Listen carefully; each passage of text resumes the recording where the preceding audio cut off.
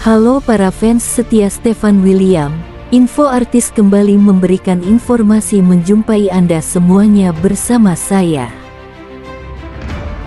Sebelum menonton video ini jangan lupa like, comment, share, dan subscribe, biar tidak ketinggalan update-update terbaru, dan jangan lupa tonton videonya sampai akhir biar tidak terjadi kesalahpahaman.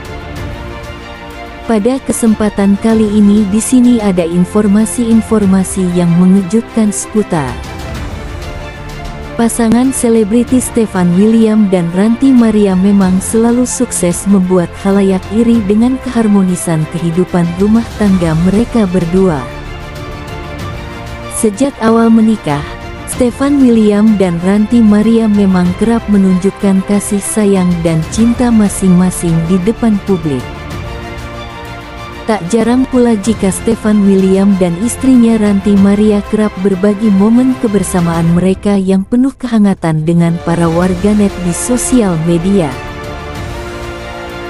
Sebagaimana dikutip dari laman official entertainment dalam postingan yang diunggah akun Instagram @stefanwilliam pada Rabu tanggal 19 Oktober tahun 2022. Pria 29 tahun ini mengunggah beberapa foto dalam akun Instagram pribadinya.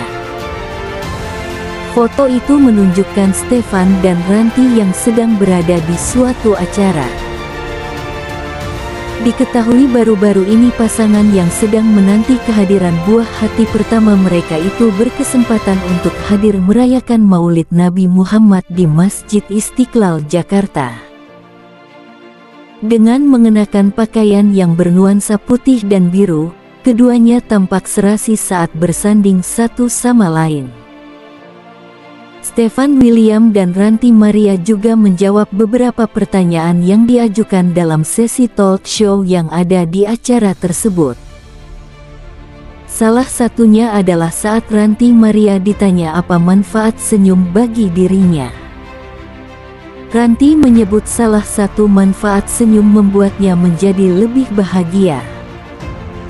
Manfaatnya banyak banget, misalnya aku senyum ke suamiku atau ke ibuku aja bisa mempengaruhi satu rumah karena semuanya jadi happy, jawabnya.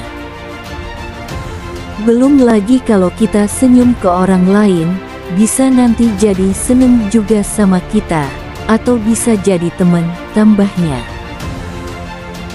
Jawabannya itu pun membuat sang suami juga tersenyum manis ke arah Ranti Maria dan menuangkan perasaan cintanya tersebut dalam sebuah caption Instagram. Senyum candu maaf jika berulang kali, tapi benar-benar aku dibuat jatuh cinta dengan wanita ini, tulis Stefan William.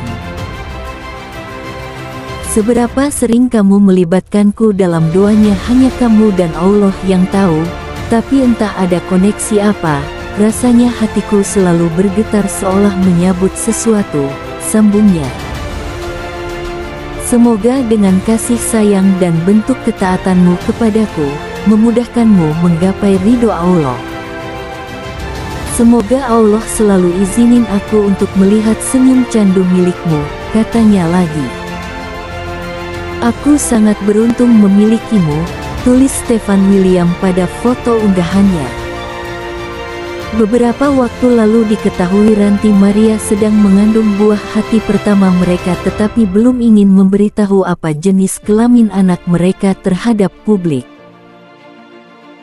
Seperti apa kisah kelanjutannya mengenai pasangan selebriti Stefan William dan Ranti Maria yang memang selalu sukses membuat halayak iri dengan keharmonisan kehidupan rumah tangga mereka berdua.